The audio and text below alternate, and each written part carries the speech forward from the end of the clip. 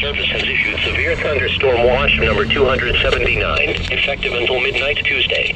This watch includes the following county, District of Columbia, and the following counties in Maryland, Anne Arundel, Baltimore, Carroll, Harford, Howard, Montgomery, and Prince George's, and the Maryland Independent City of Baltimore, and the following, Chesapeake Bay north of Pooles Island, Maryland, Chesapeake Bay from Pooles Island to Sandy Point, Maryland, Chesapeake Bay from Sandy Point to North Beach, Maryland, and Patapsco a severe thunderstorm watch means that conditions are favorable for the development of severe weather, including large hail and damaging winds, and close to the wash area.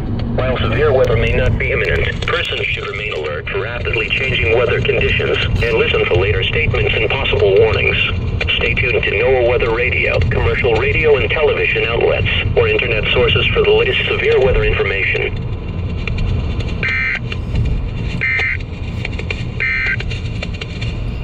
Now for the official.